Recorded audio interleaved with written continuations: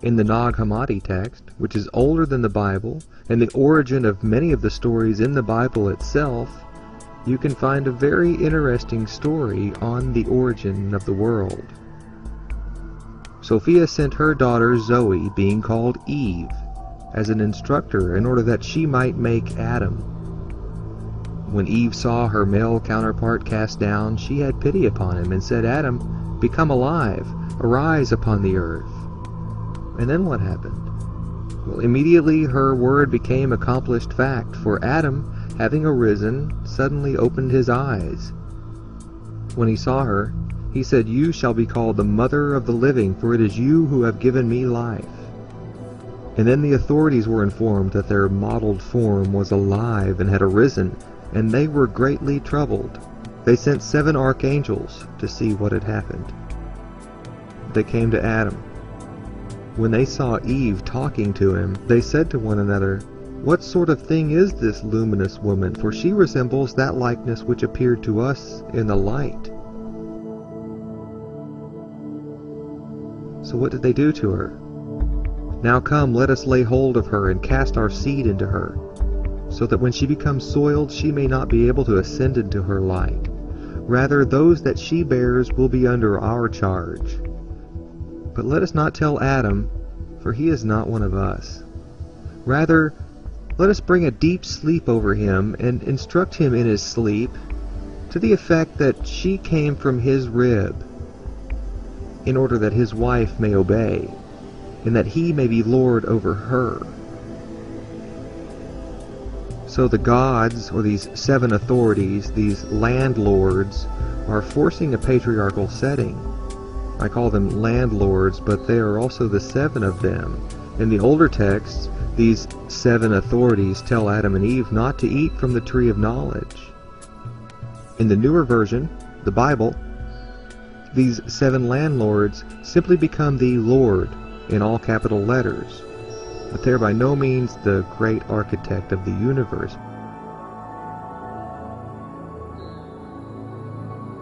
They represent a governing body, and in this story they represent the governing body of the Garden of Eden.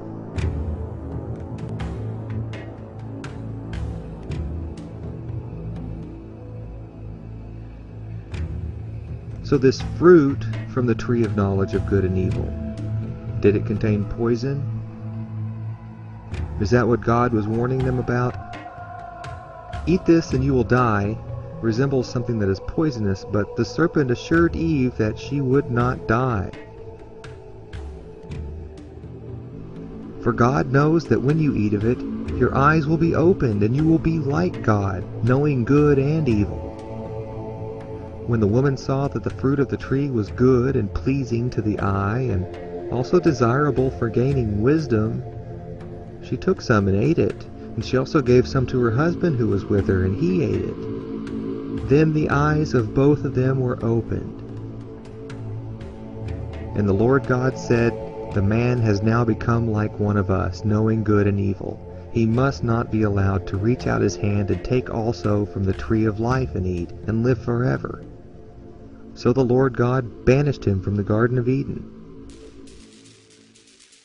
God punished them for knowing good from evil, but they did not die in the day that they ate this forbidden fruit.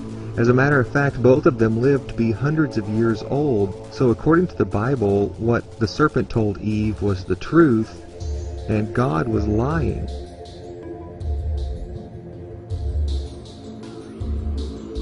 Why does God lie to them? Having the knowledge of good and evil seems like a strange thing to condemn someone for. People are often incarcerated today because of crimes they committed resulting from their lack of knowledge of good and evil. Unless these gods wanted to tell us what was right and wrong rather than to have us know the difference. To the Gnostics, Jesus was the wise serpent who gave knowledge unto man. This Lucifer-like serpent was the good one who gave us the knowledge that separates us from other animals. Jesus and Lucifer are likened to the two serpents on the staff of the caduceus. They are bound together so tightly they are inseparable. These two forces are the macrocosm and the microcosm forces in this mythology.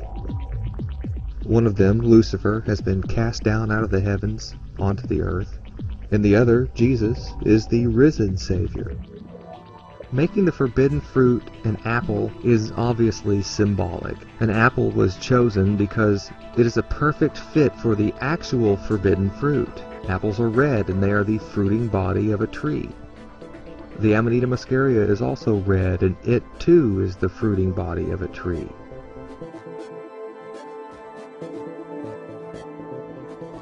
When you take a bite out of an apple, you see the same white inside that you would see if you find an Amanita muscaria mushroom in the wild with a bite taken out of it by a deer or another animal. It is a safe alchemical representation of the actual fruit of the tree of the knowledge of good and evil, without giving away any actual knowledge of the fruit itself.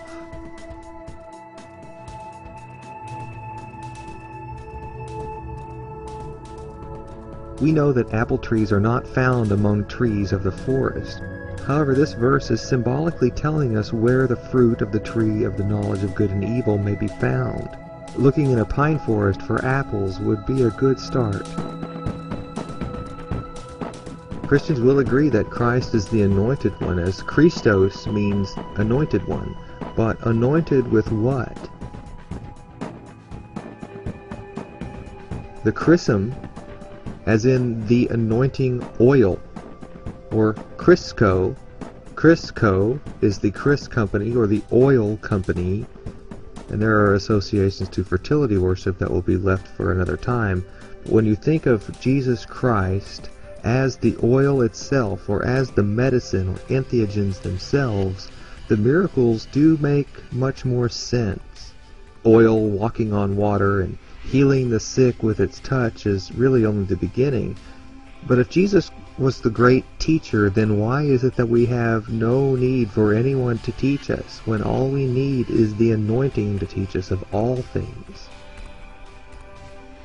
It seems as though this anointing is more important than the teacher.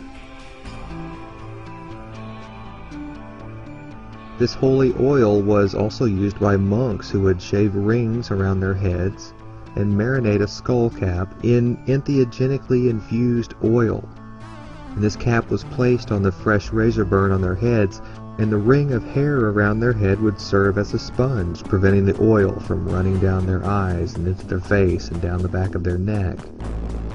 And witches practice similar ceremonies.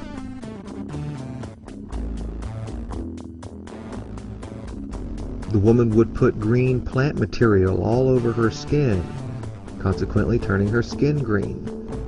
And she would also put these oils in the most capillary rich areas that she could find on her body, which just so happened to be between her legs. And the green witch with the broom handle between her legs